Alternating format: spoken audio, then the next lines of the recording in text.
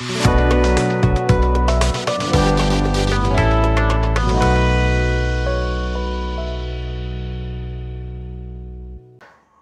मित्रांनो. राज्याला जसे जसे निवडणुकांचे वेध लागलेले आहेत तसे महायुती आणि महाविकास आघाडी यांच्यातल्या घटक पक्षांमध्ये युती आघाडीच्या चर्चा जागा वाटपांचा फॉर्म्युला या सगळ्या गोष्टी वेगाने पुढे सरकू लागलेले आहेत. महाविकास आघाडीसाठी जागा वाटप करणं म्हणावं तर सोपं आहे म्हणावं तर अवघड आहे. सोपं अशासाठी आहे कारण जेव्हा तुम्ही विरोधी पक्षात असता तुम्हाला सत्ता प्राप्त करायची असते तेव्हा तुम्हाला तडजोड करायला फारशी अडचण येत नाही. आणि त्यामुळे तुम्ही तडजोड करून जागा वाटप करू शकता. त्यातले राष्ट्रवादी काँग्रेस आणि शिवसेना या पक्षांच्या फुटीनंतर तयार झालेले उबाठा सेना आणि राष्ट्रवादी काँग्रेस शरदचंद्र पवार गट. या दोघांनाही अजूनही आपल्याला लोकांच्यामध्ये सिद्ध करायचं आहे लोकसभेला चांगलं यश मिळालं असलं तरी. आणि त्यामुळे त्यांच्याकडनं जागा वाटपात अधिक नरमाईची भूमिका घेतली जाऊ शकते असं म्हटलं आहे पण याच्यामध्ये अडचण अशी आहे की लोकसभेला जे अनपेक्षित आणि मोठं यश मिळालं ज्या प्रकारे शिवसेना उबाठा गट आणि काँग्रेस यांच्यामध्ये वोट ट्रान्सफर झालं. ते बघता विधानसभेची परिस्थिती अवघड झालेली आहे कारण लोकसभेच्या वेळेला सत्ता मिळण्याची सुतराम शक्यता नव्हती तेव्हा अस्तित्व टिकवण्यासाठी लढाई सुरू झाली होती. पण विधानसभेला सत्तेचा लोण्याचा गोळा समोर दिसतोय. आणि एक आत्मविश्वासही आलेला आहे की तिघं जण न लढता दोघं जण तरी लढले. तर सत्ता काही अगदी अवघड नाहीये. आणि त्यामुळे मग या तिघांच्यातले दोघं कोण? या गोष्टीसाठी या दोघांच्या मध्ये स्पर्धा सुरू आहे. गेल्या काही दिवसापासनं चर्चा आहे की एक अंधश्रद्धा विरोधी मानवाची भूमिका मांडणारे म्हणजे मानव पहिला बाकी देव श्रद्धा या सगळ्या गोष्टीनंतर कर्मकांड या सगळ्या गोष्टीनंतर विवेकवाद तर्कवाद असे एक महामानव अचानक बोलू लागले. आणि त्यांनी भाजपा आणि महायुतीला हरवणं हे सगळ्यांचं कर्तव्य असल्याची भूमिका मांडली. आणि एवढ्यावरच न थांबता त्यांनी अनिल देशमुखांचा बाण भात्यातून बाहेर काढला. त्यानंतर अनिल देशमुखांच्या पत्रकार परिषदा झाल्या. त्यांनी काही खळबळजनक दावे केले. आणि या दाव्यांमधनं असं पुढे आलं. म्हणजे अनिल देशमुखांना असं वाटत होतं. की देवेंद्र फडणवीसांना उद्धव ठाकरे आणि अजितदादा पवार यांना निष्भ्रम करण्यासाठी कोणीतरी हवं होतं आणि म्हणून त्यांनी अनिल देशमुखांना हाताशी धरलं अनिल देशमुखांना ऑफर केली. की जर तुम्ही एक शपथपत्र लिहून दिलं ॲफिडेव्हिट लिहून दिलं आणि त्याच्यामध्ये त्यांनी आदित्य ठाकरेंचं नाव घेतलं पार्थ पवारांचं नाव घेतलं त्यांना तुरुंगात टाकण्यात मदत केली तर तुमच्या विरुद्ध ज्या काही केसेस आहेत त्या आम्ही मागे घेऊ. तुम्हाला काही ईडी वगैरेची कारवाई होणार नाही. पण अनिल देशमुख पडले निष्ठावान सत्यवान आणि त्यामुळे त्यांनी वर्षभर तुरुंगात राहणं पसंत केलं. आदित्य ठाकरे किंवा पार्थ पवारांच्या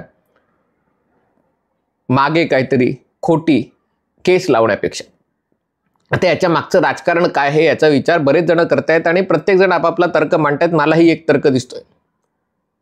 आपल्याला आठवत असेल एक निर्भय गँगचे सदस्य जे सातत्याने तन्मय चिन्मय वगैरे अशा प्रकारची मांडणी करतात आणि त्यांनी काही आडनावही शोधून काढलेली आहेत. त्याच्यामध्ये जोशी हे आडनाव दोनदा आहे कुलकर्णी हे आडनाव तीनदा आहे म्हणजे बहुतेक कोकणस्थ जोशी देशस्थ जोशी आणि मग कोकणस्थ जोशी देशस्थ सॉरी कोकणस्थ कुलकर्णी देशस्थ कुलकर्णी आणि कदाचित सारस्वत कुलकर्णी किंवा आणखीन कुठले कुलकर्णी माहिती नाही पण अशी पंधरा दहा पंधरा नावांची एक त्यांनी यादी तयार केलेली आहे की या आडनावांची लोक कशा प्रकारे भाजप आणि संघाला धार्जिणी असतात. पण गंमत म्हणजे या पुरोगामी कंपूतच जेवढा प्रचंड जातीयवाद आहे त्या जातीयवादातनच काही लोकांना मानवतावादी प्रेरणा प्राप्त झालेली आहे.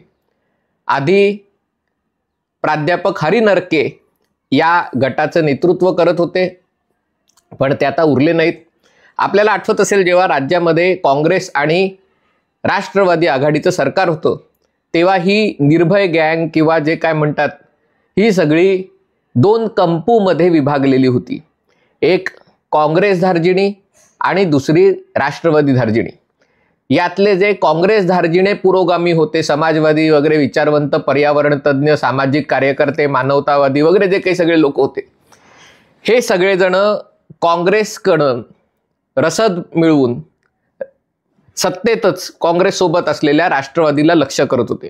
आणि त्यामुळे मग लवासापासनं अन्य सगळे घोटाळे ज्याच्यामध्ये राष्ट्रवादीचे मंत्री सहभागी होते हे बाहेर काढण्यात भाजपापेक्षा याच काँग्रेस धार्जिण्या पुरोगामी निर्भय गँगच्या सदस्यांचा समावेश आहे. त्यांना शरद पवारांबद्दल आकस असण्याची दोन कारणं एक पवारांचा जातीयवाद आणि दुसरं म्हणजे पवारांची नरेंद्र मोदींशी असलेली छुपी दोस्ती. आणि त्यामुळे या लोकांचा विश्वास होता की शरद पवार आज ना उद्या आपल्याला दगा देणार. आपल्याला म्हणजे आपल्या सोनियाजींना आणि राहुलजींना. आणि त्यामुळे शरद पवारांना खच्चीकरण करण्यासाठी तेव्हा काँग्रेसच्या नेत्यांनी या निर्भय गँगच्या लोकांचा वापर केला होता. हे निर्भय गँगचे लोक जाऊन वर्तमानपत्रामध्ये टी व्ही चॅनलमध्ये जनहित याचिकांच्या माध्यमातून गोळीबार करायचे आणि त्या गोळीबाराचं लक्ष मुख्यतः राष्ट्रवादीचे लोक असायचे. दुसरी दुसरा जो कंपू होता त्या कंपूला राष्ट्रवादी जास्त जवळचा होता कारण त्यांना काँग्रेस पक्ष हा खूपच ब्राह्मणी पद्धतीचा वाटायचा कारण ते काँग्रेसचं दिल्लीतलं नेतृत्व आहे. आणि त्यामुळे काँग्रेसच्या नेत्यांचा या सगळ्या महाराष्ट्रातल्या सत्यशोधक आणि शाहू फुले आंबेडकरांचे विचार पुढे नेण्याच्या चळवळीत काही फारसा उपयोग नाही. असं त्यांचं मत असल्यामुळे ते काँग्रेसच्या विरोधात असायचे. जेव्हा दोन्ही पक्ष घायकुतीला आले होते दोन हजार चौदा ते एकोणीस आणि एकोणीस ते चोवीस सातत्याने भाजपाचा आणि नरेंद्र मोदींचा प्रभाव वाढत होता. आणि त्यामुळे काँग्रेसचं नेतृत्व आहे का नाही अशा प्रकारची शंका येत होती तेव्हा. ही जी सगळी निर्भय गँग आहे ती एकत्र झाली होती. कारण बचेंगे तो और बी लढेंगे. जर उरलोच नाही तर लढणार कसे? आणि त्यामुळे या सगळ्या लोकांना तेव्हा दुसरा पर्याय नव्हता. त्यांना अचानक शरद पवारांमध्ये देवपुरुष दिसायला लागला होता. देवाचे बाप वगैरे मी म्हणणार नाही पण ज्यांनी मोठ्या हिकमतीने नरेंद्र मोदींना अमित शहाना धडा शिकवून उद्धव ठाकरेंना आपल्यासोबत आणलं आणि एक महाराष्ट्रात शाहू फुले आंबेडकरांच्या विचारांचं सरकार. उद्धव ठाकरेंच्या मुख्यमंत्रीपदाच्या नेतृत्वात म्हणजे उद्धव ठाकरेंच्या नेतृत्वात स्थापन केलं. आणि त्यामुळे त्यांना शरद पवारांबद्दलचा आदर प्रचंड वाढला होता आणि ही सगळी फेज पाच वर्ष टिकली. एकोणीस ते चोवीस पण चोवीसच्या लोकसभा निवडणुकीमध्ये काँग्रेसला जे यश मिळालं आणि राष्ट्रवादीला जे यश मिळालं ते बघता यांना एक नवीन स्फूर्ती आलेली आहे नवीन रसद मिळालेली आहे आणि आता त्यामुळे त्यांना एकाच वेळेला त्यांना एकाच वेळेला भाजपाचाही पराभव करायचा आहे पण त्या पराभूत करण्यामध्ये काँग्रेसचं नाव काँग्रेसचा वाटा मोठा असावा याचा त्यांचा प्रयत्न आहे आणि त्याच्यासाठी हे कार्यरत झालेत. या सगळ्या परिस्थितीत दोघांनाही उबाठा सेनेची गरज आहे. खरं तर राष्ट्रवादी शरदचंद्र पवार गट आणि उबाटा सेना यांचे मतदारसंघ वेगवेगळे आहेत. राष्ट्रवादीचा मुंबईमध्ये काही स्थान नाही आहे आणि उबाटा सेनेला मुंबईच्या बाहेर फारसं काही स्थान नाही आहे. कोकणामध्ये तर जिथे राष्ट्रवादीशी लढत होऊ शकते तिथे उबाटा सेनाचा पूर्ण पराभव झाला आहे मराठवाड्यामध्ये उबाटा सेना आहे तिथे राष्ट्रवादी फारशी नाही आहे. पश्चिम महाराष्ट्रात उबाटा सेना नाही आहे. आणि त्यामुळे अशा परिस्थितीमध्ये खरं तर त्यांचं एकत्र येणं अधिक सोपं ठरू शकतं. पण काँग्रेस आणि उबाटा सेना एकत्र आले तर ते राजकीयदृष्ट्या फायद्याचं होऊ शकतं कारण तिथे मतांची बेरीज होऊन भाजप आणि महायुतीचा पराभव होण्याची शक्यता आहे. आणि त्यामुळे आत्तापर्यंत काँग्रेस उबाठा सेनेला डोळे मारत होती त्याला जवळ घेण्याचा प्रयत्न करत होती. आणि मग त्यामुळे बहुधा